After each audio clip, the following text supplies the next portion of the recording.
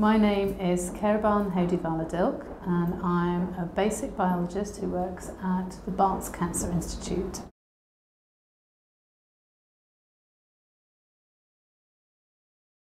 I did a PhD on skin cancer and, um, and then I went, and that was in London, and then I went to America for five years.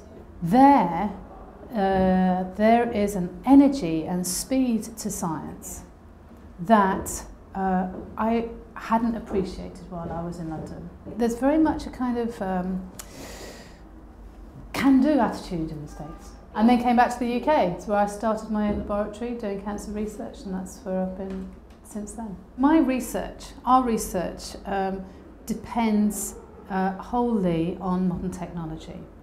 Everything from small glass slides that we put specimens onto that have a special coating on them to make sure the specimen doesn't drop off, to microscopes worth half a million pounds.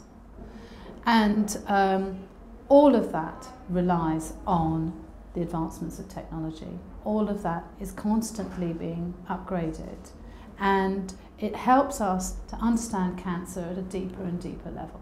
If um, I want uh, a specific type of microscope that could image individual cells moving and um, there isn't a patent on that, then the incentive to make that sort of microscope I think is, is uh, is dwindling. There needs to be stronger links between the research done at the bench and the discoveries actually making it into the clinic. And to enable that, we need to have the IPs because without that, there is no financial stream to support the basic research. So it's very important.